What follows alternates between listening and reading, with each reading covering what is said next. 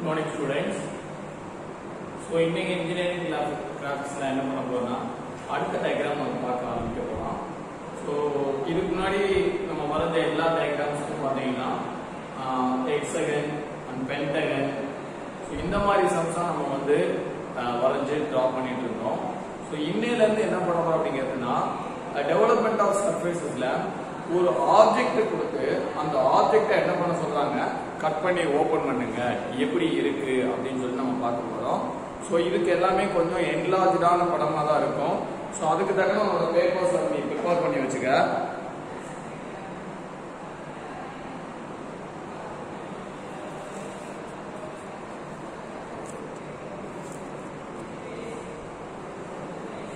இன்னைக்கு என்ன பண்ண போறோம்னா அந்த மாதிரி ஒரு ஆப்ஜெக்ட்ஸ் கொடுத்துருப்பாங்க. அந்த ஆப்ஜெக்டை நம்ம எப்படி டெவலப் பண்ண போறோம் அப்படின்றத நம்ம இன்னைக்கு எக்ஸாம்ஸ்ல நம்ம பார்க்க போறோம் ஸோ எல்லாமே கொஞ்சம் என்லார்ஜா இருக்கும் ஸோ நான் இங்க பொறுத்தளவுக்கு நான் சின்னதா இருக்கும் டிராயிங் நோட்டை பொறுத்தளவுக்கு டிராயிங் ஷீட்டை பொறுத்தளவுக்கு என்னன்னா பெருசா இருக்கிறதுனால நீ அதுக்கு தகுந்த மாதிரி அட்ஜஸ்ட் பண்ணி கரெக்டா வரைஞ்சுக்க. டிராயிங் நோட்டை டபுள் சைடுமே யூஸ் பண்ணிக்க. ஒன் சைடு யூஸ் பண்ணா சார் பத்தல அப்படின்னு சொல்லிட்டு நீ போன் அடிப்ப. அதனால டபுள் சைட்ஸை யூஸ் பண்ணி வரைஞ்சு வரைக்கும் ஓகேவா நான் படம் வரைஞ்சு போடுறேன். ஏதாவது டவுட்னா ஃபோன் பண்ணுங்க. மெசேஜ் பண்ணுங்க. நான் கண்டிப்பா ஆன்சர் கொடுக்குறேன்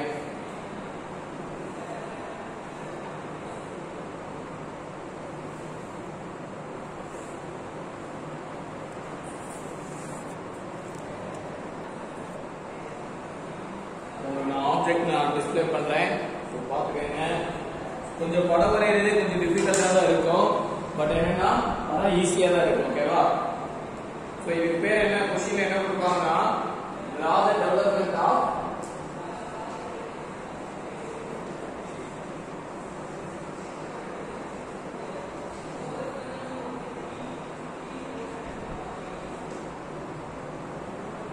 rectangle pipe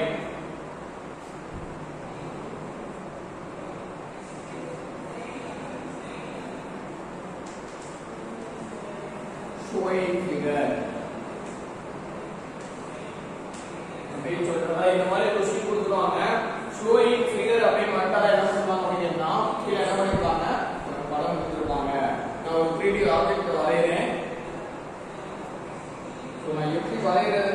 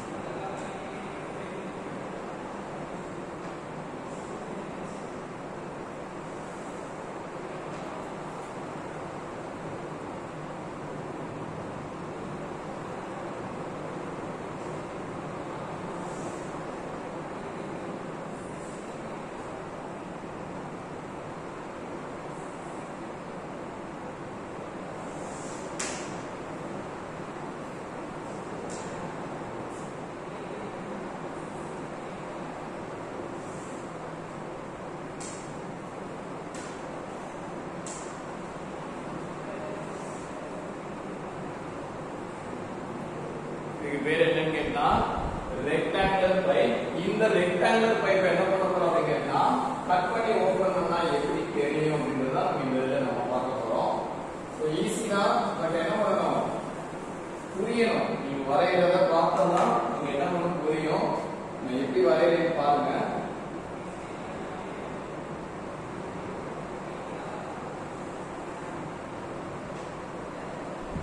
இதுக்கான அளவு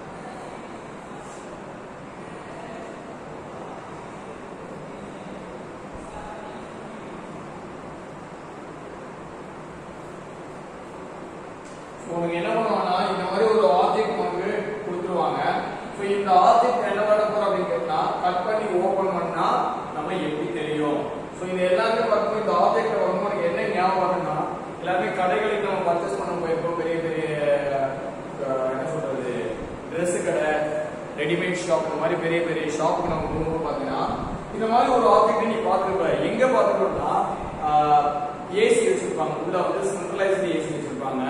அந்த சென்ட்ரலைஸ்டியோட ஏசியோட அவுட்புட் அதாவது அந்த ஏசி வரக்கூடிய காத்து வரக்கூடிய இதை வந்து பாத்தீங்கன்னா இந்த மாதிரி இடத்துல இருக்கும். ஏன் வந்து என்ன பண்ணா இந்த வெளியில இந்த அவுட்லெட் போன வழியாக என்ன பண்ணும்? வரும்.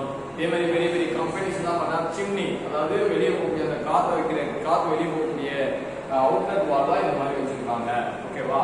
சோ இதை என்ன பண்ண போறேன் இதை நான் கட் பண்ணி ஓபன் பண்ண போறேன். இதுல உனக்கே தெரியணும் இந்த எத்தனை பக்கங்கள் இருக்குன்னு பார்க்க போறேன். இது ஒண்ணு.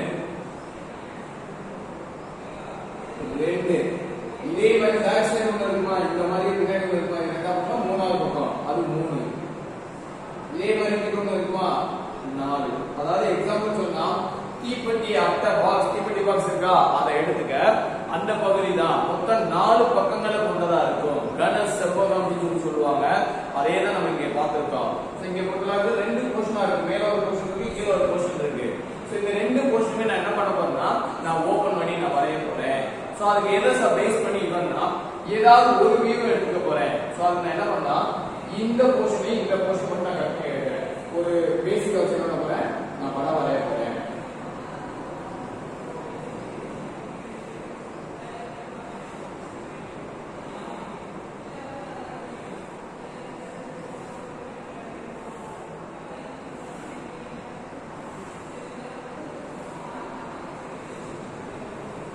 இந்த ரெண்டு போர்ஷன் எனக்கு என்ன பண்ண போறேன்னா நான் இந்த முழு படத்தையுமே கட் பண்ணி ஓபன் பண்ணா எப்படி தெரியும் அப்படின்றத என்ன பண்ணா நான் வரைய போறேன் வரையலாமா?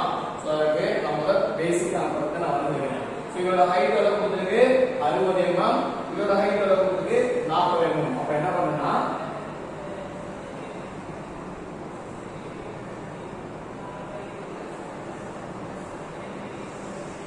அறுபது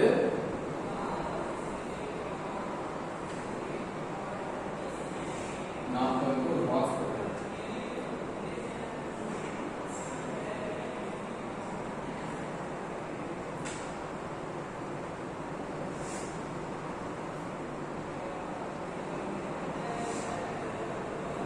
அறுபதுக்கு நாற்பது. இங்க இருந்து வரைக்கும் நாற்பதா வந்துருக்கு அப்ப இதுல இருந்து வரைக்கும் இருபது எவ்வளவு இருக்கு இருபதா இருக்கு. அப்ப என்ன பண்ணா இங்க இருந்து இருபது பாயிண்ட் ஒன்று பண்றேன் மேல டாப் எட்டு வரைக்கும் என்ன பண்ணிக்கிறேன்? ரெண்டா ஸ்பிட் பண்ணிக்கிறேன். இது வரைக்கும் எவ்வளவு இருக்கு? இருபது. அப்ப இங்க இருந்து இருபது. உங்க எக்ஸஸா இருக்கக்கூடிய எல்லா பாயிண்ட் பண்ணிக்க ரப் பண்ணிக்க. இதுதான் அந்த போர்ஷன் நான் இதை வச்சு என்ன பண்ண போறேன்? நான் முழு பகுதியையும் கட் பண்ணி நான் ஓபன் பண்றேன். கட் பண்ணி ஓபன் பண்றேன் எனக்கு பேர் கொடுங்க ஓகேவா ஸோ என்னென்ன பேர் அப்படின்றது உனக்கு அப்பதான் புரியும் ஏ பி சி அதே மாதிரி உள்ள ஒன்று இருக்கும் அது டி ஸோ இந்த போர்ஷன் வச்சு நான் ஓபன் பண்றேன் அதே மாதிரி இங்கேயும் பேர் கொடுக்குறேன் A dash B dash C dash D dash கீழ இருக்க போர்ஷன் வந்து ஓபன் பண்றேன் அடுத்து மேல இருக்க போர்ஷன் வந்து ஓபன் பண்றேன் அப்ப நான் இங்கே என்ன கொடுக்கலாமா ஏ பி அதுக்கு பின்னாடி சி இருக்கு இதுக்கு பின்னாடி டி இருக்கு அதே மாதிரி தான் இங்கேயும் ஏ பி சி டி ஓகேவா ஒரே ஆரம்பிக்கலாமா அதை கட் பண்ணி நான் ஓபன் பண்றேன் சோ அதுக்கு என்ன பண்ண அப்படின்னா இங்க இருந்து ஒரு ஸ்ட்ரெயிட் லைன் அந்த லைன்ல இருந்து ஆப்ஜெக்ட் என்ன பண்ணிக்க ப்ரொஜெக்ட் பண்ணிக்க அதே மாதிரி இங்கேயும் ப்ரொஜெக்ட் பண்ணிக்க அளவெல்லாம் இது கிடையாது லைன் மட்டும் என்ன பண்ணிக்க ப்ரொஜெக்ட் பண்ணிக்க இதுல இருந்து 10 mm தள்ளி ஒரு லைன் போட்டுருக்கேன் எத்தனை mm தள்ளி 10 mm தள்ளி ஒரு லைன் போட்டிருக்கேன் சோ அந்த லைன்ல இருந்து நம்ம படமே வரைய ஆரம்பிக்க போறோம் சோ அதை எப்படின்னு பாருங்க ஃபர்ஸ்ட் ஸ்டார்டிங் என்ன பண்ணுங்க ஏ புள்ளில இருந்து நான் பி ல லைன் வர போறேன் ஏ ல இருந்து பி எவ்வளவு இருக்கு 30 mm இருக்கு அப்ப என்ன பண்ணேன்னா இங்க இருந்து எவ்வளவு எடுக்கிறேன் 30 mm ஒரு பாயிண்ட் இருக்கு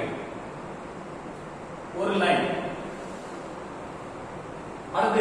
அடுத்து ல இருந்து C எவ்வளவு 20 mm அப்ப நான் இங்க இருந்து எவ்வளவு எடுக்கிறேன்? 20 mm க்கு ஒரு லைன் போடுறேன். அடுத்து C ல இருந்து D. அப்ப இங்க முன்னாடி என்ன இருக்கோ அதான் வரப்போகுது. அப்ப C ல இருந்து D எவ்வளவு இருக்கும்? அது ஒரு 30 mm D ல இருந்து A எவ்வளவு 20 mm எக்ஸஸா இருக்கு என்ன பண்ணிக்க ரப் பண்ணிக்க So, தேவை கிடையாது பேர் கொடுத்துடலாமா A B C D A so நம்ம என்ன பண்றோம்னா இந்த ஏழு புள்ளி எது வரைக்கும் இருக்கு? ஒரு லிமிட் வரைக்கும் தான் இருக்கு. அப்ப நான் ஃபர்ஸ்ட் என்ன பண்ணா ஏ புள்ளி ஏழு ஏ வரைக்கும் தான் இங்க இருந்து இந்த லைன் என்ன பண்றேன்? நான் ப்ரொஜெக்ட் பண்றேன். ப்ரொஜெக்ட் கூட பண்ணா பாயிண்ட் வச்சுக்கிறேன் அடுத்து மீண்டும் புள்ளி எங்க இருக்கு? மேல வரைக்கும் இருக்கு. அப்போ மேல. இந்த புள்ளி எங்க பண்ணீங்க? இங்க புள்ளி பண்ணீங்க. அடுத்து டீன்ற டீன்ற புள்ளி என்ன பண்ணீங்கன்னா இது பேக் சைடு இருக்கு. அது எம்டிஆர் ஸ்பேஸா தான் இருக்கு. அப்ப அதே டி ஏன்னா சி டி ரெண்டுமே ஒரே லைன் இருக்கு அப்புறம் மறுபடியும் எங்க இருக்குது? ஏல இருந்து வந்துட்டேன். இதோட ஹைட் இந்த இருக்கு. ஏல இருந்து பி ஏல இருந்து பி வந்திருக்கீங்க 30 mm இங்க இருந்து 30 mm வந்திருக்கீங்க சரியா? சோ அதுக்கப்புறம் பி ல இருந்து நம்ம டி க்கு போறேன் சி க்கு போறேன். அப்ப சி என்ன பண்ணுனா பி ல இருந்து டாப் எதுக்கு தான் போகுது. நல்லா கவனி இது கொஞ்சம் குழப்பற மாதிரி தான் இருக்கும் ஸோ பொறுமையா பாரு நல்லா கவனி ஏ ல இருந்து பி ல புள்ளிக்கு நான் போறேன் ஏ ல புள்ளி இங்க இருக்குது சோ ஏ ஓட லைன் எவ்வளவு இருக்கு 30 mm நான் என்ன பண்றேன்னா இங்க இருந்து அந்த பாயிண்ட் என்ன பண்றேன் நான் புள்ளி வச்சுக்கிறேன் ஓகேவா சோ பி ல புள்ளி. ஏ இருந்து இது வரைக்கும் எவ்வளவு இருக்கு? 30 mm இருக்கு. ஏ ல புள்ளி ஹைட் எவ்வளவு இருக்கு? 30 mm இருக்கு. நான் அங்க இருந்து என்ன பண்றேன்? பி ல புள்ளிக்கு போறேன். பி ல புள்ளிக்கு என்ன பண்றேன்? நான் அதோட ஹைட் எவ்வளவு இருக்கு? அதுவும் 30 mm தான் இருக்கு. அப்ப என்ன பண்றேன்னா இந்த லைனுக்கு என்ன பண்றேன்? நான் ப்ரொஜெக்ட் பண்ணிக்கிறேன். ஓகேவா சோ அடுத்து நான் பி ல இருந்து எங்க போறேன்? C க்கு போறேன். சி யோட ஹைட் எவ்வளவு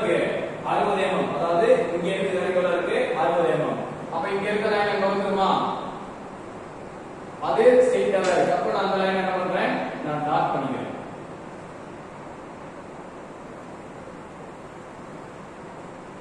அடுத்து C ல இருந்து D க்கு லைன் போறேன். D க்கு லைன் எப்படி இருக்கு ஃபிளாட்டா எந்த கட்டிங்குமே இல்லாம இருக்கிறதுனால சோ அடுத்த பாயிண்ட் எப்படி இருக்கு? டாட்டா தான் இருக்கு.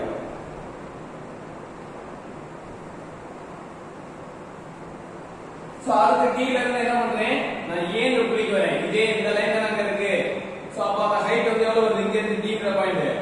30 mm வருது அப்ப நான் இந்த லைன் அதே மாதிரி அங்கேயே ப்ரொஜெக்ட் பண்ணிக்கலாமா சோ நம்ம எல்லா லைன் கூட இந்த கிராஸ் லைன் என்ன பண்றேன்னா இதோட முடிஞ்சுதுன்னா இது என்ன பண்ணு அப்படியே அவங்க ப்ரொஜெக்ட் பண்ணு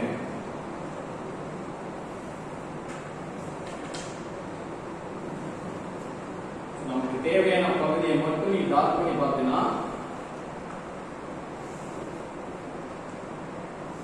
அந்த பாக்ஸை கட் பண்ணி ஓப்பன்னா இப்படிதான் தெரியும் இமேஜின் பண்ணி பாரு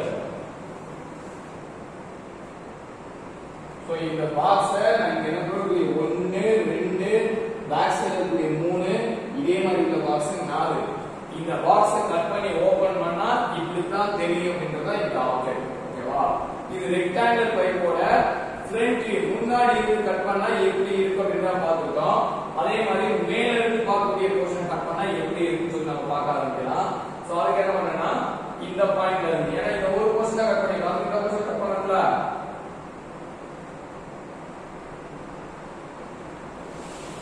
ஸ்ட்ரெயிட் லைன் போடுங்க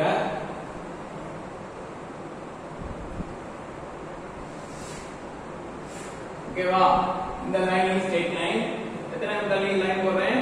10 mm லைன் போடுங்க. சோ ஃபர்ஸ்ட் இது எவ்வளவு?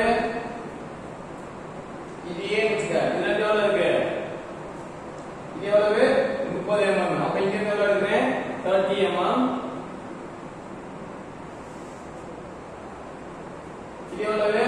20 mm அடுத்து 30 20 எக்ஸஸா இருக்கக்கூடிய பாயிண்ட் என்ன பண்ணிக்க? ரப் பண்ணிக்க. ஸோ அதே மாதிரி தான் இங்கேயும்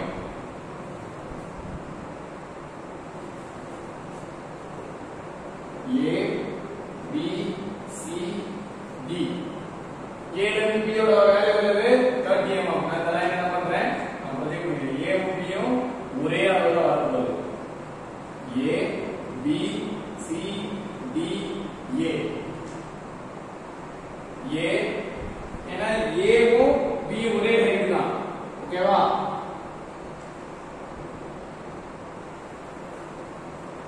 இதே படத்தை என்ன பண்ண போறேன்னா நான் திருப்பி வரைய போறேன்டா. அவ்வளவுதானே மேட்ரு சரியா? ஏன்னா இங்க இங்க ஒண்ணுதான் இருக்கு. பட் என்னன்னா இந்த ஹைட் மாறுது. அந்த ஹைட் மாறாது. இந்த ஹைட் இருக்கு. ஹைட் வேற ஹைட் இருக்கு. இங்க வேற ஹைட் இருக்கு. சோ நான் ஏல இருந்து பி வந்தேன். பி இருந்து சி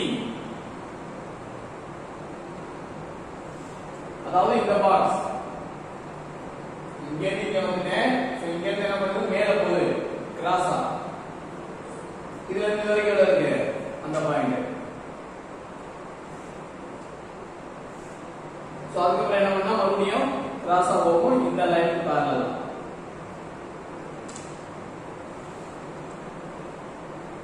ஏன்னா லைன்